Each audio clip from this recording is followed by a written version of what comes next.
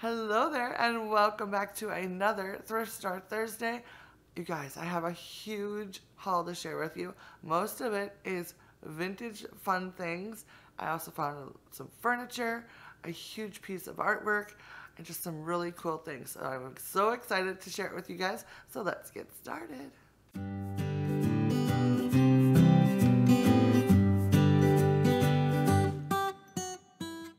So this past week, I didn't go to the thrift store, but I went to a huge church sale, like massively large church sale.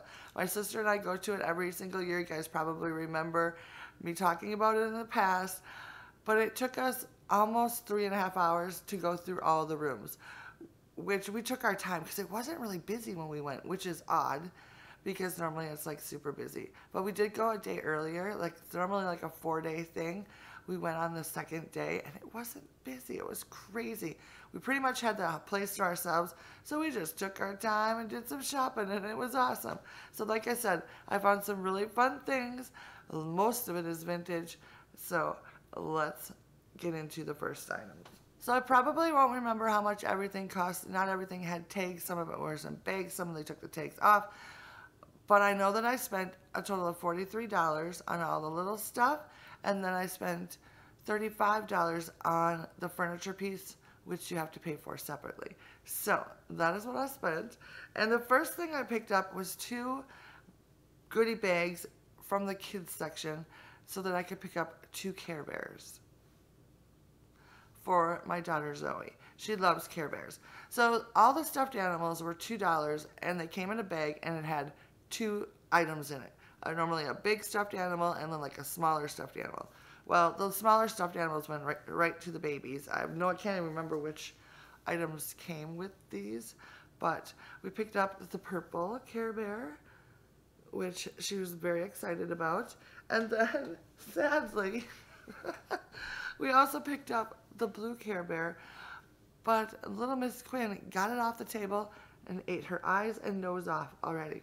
So this Care Bear is now a dog toy, which Zoe was not too happy about. so the next thing I picked up was a piece of artwork. It's actually needlework. It was only a dollar. And I actually picked it up for my friend Nicole Northgarden because I know that she loves Holly Hobbie. And I just thought this was so gorgeous. Look at that. Someone did a really good job stitching this. I'm not sure if it's actually considered like embroidery or if it's considered, is it crewel? Is that what it's called? I don't really know. But it's definitely some really good in you know needlework. And I just fell in love with it. I thought it was so cool. I was not going to pass it up for a dollar. And I probably would have brought it home regardless because I think it's so cool. So I picked that up. I let her know that I did and she's very excited about it. And I'm glad because I think it is so cool. So the next thing I picked up was a blanket. I call them camp camp blankets because they just remind me of camping. I, am sure there's a certain name for them, but it looks like this. And it's got the little fringe on the ends, which I think is super cool. A lot of them you'll come across them and they're like wool or whatever. I think this is a synthetic blend one, but I love the plaid. Look at all that gorgeous red in there. And I love the tassels on the end. Um, this one doesn't have like a tag to let me know, but this was only a dollar. So I was not passing them up, passing it up. I have two other ones like this. Um, and I love them. They are perfect for like lap blankets when you're sitting around the campfire. So I always bring them camping, but I also like to use them as um, tablecloths for the fall season. I just think they're perfect for that. And then of course you can also, as I like to use them as well on like the end of the bed, that sort of thing. So this was a great find at only a dollar. And speaking of only a dollar, this next item I saw across the room and had to speed over there to get a closer look. I thought at first that maybe it was a planter, but sadly it wasn't, but I didn't really care. I picked up this little ducky. Isn't he adorable? He was only a dollar, and he's like a little covered dish. How cute is that? Oh my gosh, you guys, I am so in love with this. he's going in my office. I think I'm going to keep him on my, maybe on my desk or my side console table. and hold like rubber bands and paper clips in him because I think it'll be perfect for that. So I love it. I think it is so adorable. All right, so then the next thing I found was a couple pieces of what I consider to be vintage jewelry. I'm not real sure if it actually is because I can't tell, but I found a little pair of clip-on earrings with the gorgeous little rhinestones. I loved these. These were $2. I thought that was pretty cool. And then I also found a cute little winter brooch with the rhinestones and then it's got the green one in the middle which I think is so pretty. It, do, it is missing one stone right there. You probably can't tell too well but you have to really look at it. From a distance you really can't tell but I just thought it was cool. It's got that star snowflake sort of shape and I love the fact that it's got the little pop of color in the middle. So I thought that was cool. And this, I think, was $2 if I remember correctly. I, of course, had to look at the books because last year I found some really cool things. This year I didn't have as much luck, but I did find this really pretty book right here. It is a children's reader book. It's called Black Gold. The only craziness is, the only thing is it's from the library. I'm going to see if I can't get this off, this little label off. I already took one off like this. That was wrapped over the top of it. And it came off without damaging the book itself. So hopefully I can get this off without damaging the book. But I just thought this cover and the color of it was really pretty. And then I found a little Christmas carols book, which has been around a while. The cover is kind of comes apart from the book, but it's got some really cool like graphics in it. And I just love this little snowman on the back. So for nothing else, it would be kind of fun to use that. But it also has some great Christmas music in it. Look at that. Isn't that fun? Oh, like this one is really pretty. It's got Deck the Halls. I love it. So anyways, this little book will be awesome just to maybe display. Maybe you can take a few. I'm not going to feel bad about like taking it apart because it's already falling apart. It might be kind of fun to use some of the songs and stuff like that for projects, decor. I don't really know. So anyways, I picked it up. It was only a dollar, I believe. So I thought that was pretty cool. I found another book that I was super excited about. It is kitchen glassware of the Depression years by Glenn Florence. Looks like this. And inside, you guys, it goes through like all the different, you know, it tells you all the pieces in different collections. Goes through a lot. Those are like measuring cups. I've actually been kind of looking for a book like this because I don't really have anything I don't know about a lot of the glassware that I see. So I thought this might be kind of fun to look through. I don't know if I can show you. Basically, it just kind of goes through a whole bunch of different glassware items, which I think are pretty cool. So I don't know. I just thought it would be kind of a fun read. Kind of go through it, see what if any of the items in here is something that's already in my collection, or it might give me ideas of things to actually collect that I would love. So we shall see. And I thought that was pretty cool. So this next item I thought was absolutely hilarious. There's one really large room and it had all the craft things and all like the holiday decor items, mostly Christmas, Halloween, a little bit of Easter, that sort of thing. Well, I was on my way out the door and I happened to glance up at like the chalkboard area and they had a few like, you know, like decorative flags and that kind of stuff kind of like pinned up on that area. And this little guy was sitting there. It's a die cut for the new year. It says Happy New Year on it, and I just thought it was super adorable. Well, I, I picked it up, looked at it. It didn't have a tag on it, didn't have a price tag, there's nothing on it.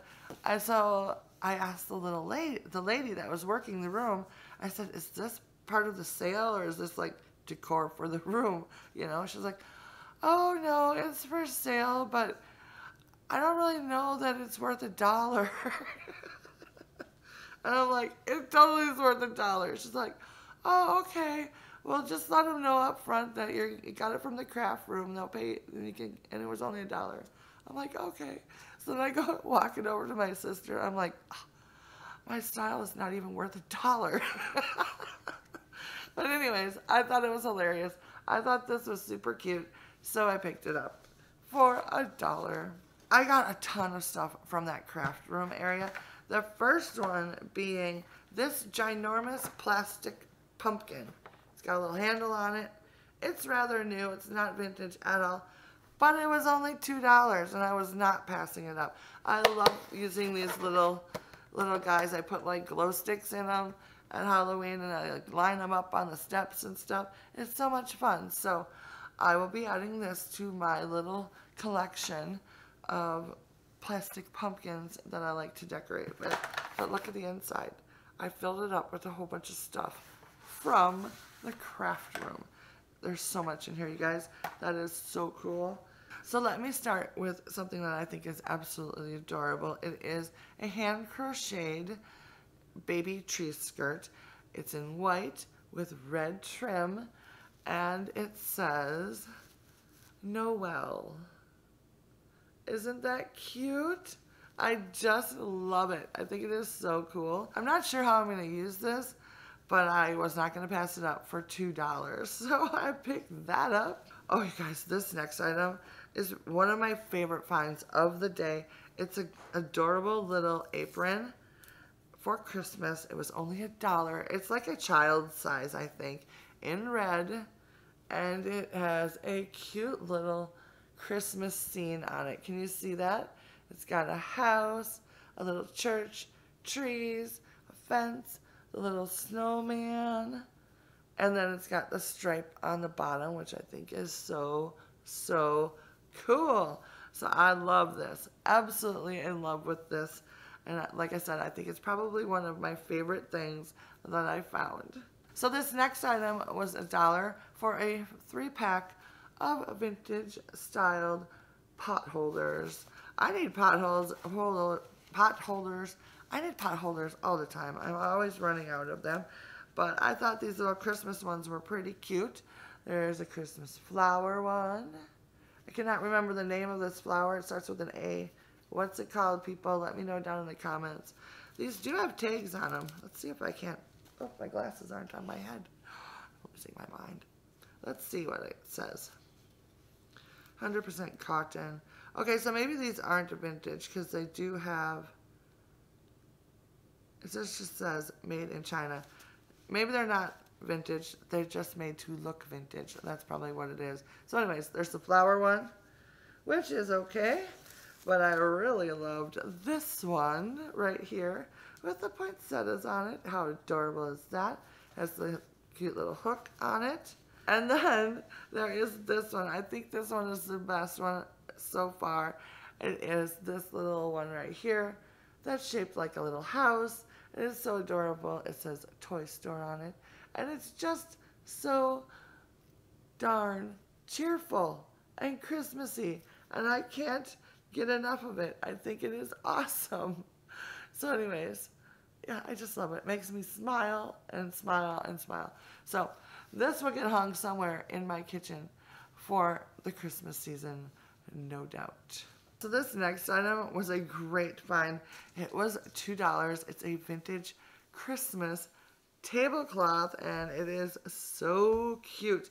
It is pretty stained up, so it'll most likely turn into some sort of something another that I'll use the fabric for because it really has a lot of stains. Like it's a lot, like more than a handful of stains, but I love the design on it. It's got the candles with the poinsettias underneath it. And then it's got this nice little scalloped and holly berry um, border. And it is so cool. You guys know, like, I'm obsessed with the, like, Christmas candle motif. It is, like, my favorite. And then secondly is the poinsettias. So, yeah, it just repeats that around. It's got the little design in each corner and then one in the middle. And it is so cute and adorable. Most likely we'll make some sort of Christmas pillow out of this. then, um, for a dollar, I picked up a two-pack of Christmas towels that have this adorable, um, what do you call it? Candle motifs on it. Once again, the candles with the poinsettias. I think they're just so pretty. Let's see, are there any tags on it? So this I don't think is vintage because it does say Fieldcrest on it. I think that's a newer brand. I'm not real sure. But anyways, so I was happy to find um, two of these little towels. They had some other ones that were like in red, but I didn't really like the design so much. So I got the one that I like the design of, which is kind of fun. All right, so the very last thing in my cute little pumpkin over here are some vintage patterns. You guys, these were five for a dollar. And of course, I went through on the stack of them that they had quite a few vintage patterns. And I was looking for anything like 1940s styling. Um, but these mostly look like 1960s to me. Um, some of them have dates. This first one does not. This one is by Simplicity. And it looks like this, which I think is super cute. And then this one's adorable. I um, love it. It's got the pajamas, which is so fun. That one doesn't have a date uh, either. This one does have a date. It's by Simplicity. This is from 1963. And then this one is really cool. This just screams 60s to me. It's also by Simplicity. And this is 1966, if I remember correctly. Yeah, 19. Am I right? Yeah, 1966. So cute. And then finally, I picked up this hat pattern, which is very unique for me. I don't have anything else like this. I think it is so cool.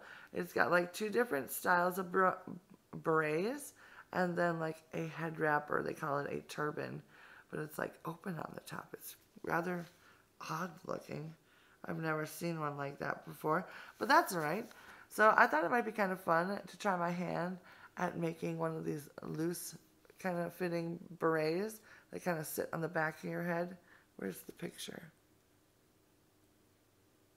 oh up here you can see that kind of sits in towards the back I like that one better than the kind that's fitted at the base and it kind of poofs up. But anyways, so we'll see. We'll see if the pattern pieces are in there. And then, I don't know, maybe we'll see if we can't make ourselves a cute little hat. A vintage inspired hat. so that was fun to find the vintage patterns. It's always exciting for me. So this next item is really super cool to me. Um, we are a Pepsi family. Um, it started with my dad he would always give people a hard time if they didn't serve Pepsi and only served Coke. And it was kind of, you know, his thing that he did, all good natured or whatever. But he liked to collect like older Pepsi items and things like that. So I saw this Pepsi carton and I was like, oh, I've got to get it. And it looks like this. Isn't this awesome? I just love it. So this whole Pepsi carton, and then it has five bottles in it it was only $2, you guys. And it has some fun actual bottles in it, which is silly. It actually has a Coke bottle in it. This is a big bottle, like super heavy glass. I have no idea if there's a way to find out when it was from, but I don't know. It also has a Sunkist bottle, which is pretty cool as well. And then, let's see, it's got two of the Schweppes, Schweppes, Schweppes Club Soda.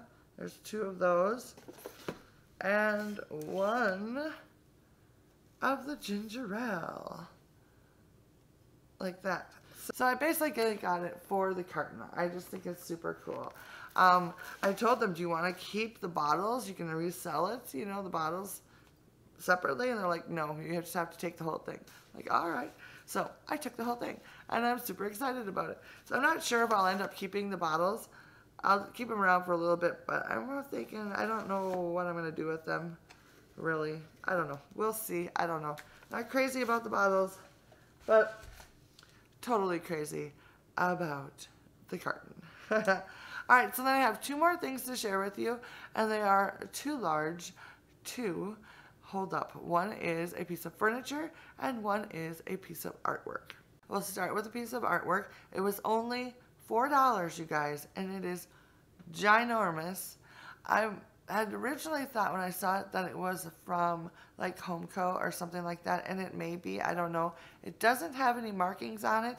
Um, someone handwritten on the back, and it says Nostalgic Summer, but then on the front, it, it does have a signature, and it says Eric Sloane. So here's a clip.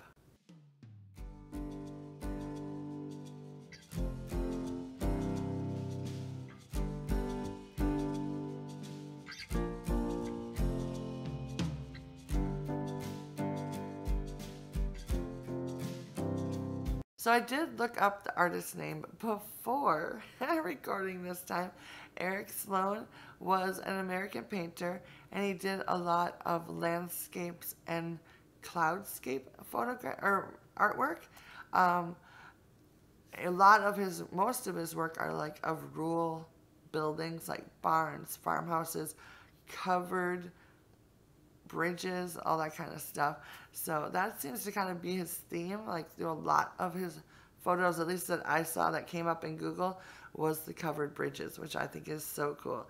Now I love this print. I love that it's got like that really muted kind of faded antique colors to it. I love that it's got, you know, the beautiful sky, the covered bridge, the little um, houses in the background, and then of course it's the little boy and girl with their dog and the fishing pole. And I just think that is so quintessential summertime, and I think it is so adorable. So I was not going to pass it up for $4. I think it will look amazing over my fireplace or over my bed. I'm not quite sure which one I'm going to use it for. Regardless, the frame will most likely get a little makeover. It needs a little help. So I'll be doing that for sure and I'll share that with you when I get it done.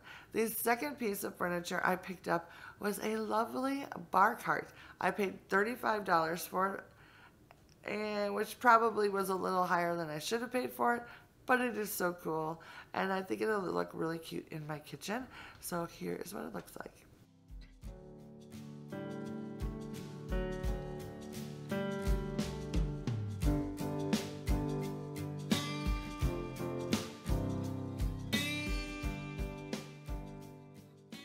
So isn't that bar cart cute? I've always kind of wanted a bar cart. I think they're so fun. Um, but I never thought I would get one. And I like this one in particular because it's got the bottom shelf and then the tray on the top that you can take off. And I just think it looks really cute and classic. It does have some issues. It, like some kid has drawn on it with a Sharpie. There's some discoloration on the tray itself. Um, but it's got the little cute wheels on it. It's kind of got that you know, straight line sort of mid-century look to it, and I think it is pretty cool. So it'll probably get a makeover just because of the rough condition of the tray itself. That is what I found this week at the church sale for this week's Thrift Store Thursday. So I would love to know down in the comments if we had gone to the church sale together, which would have been very fun, which of the items I brought home would we have had to race to get to first?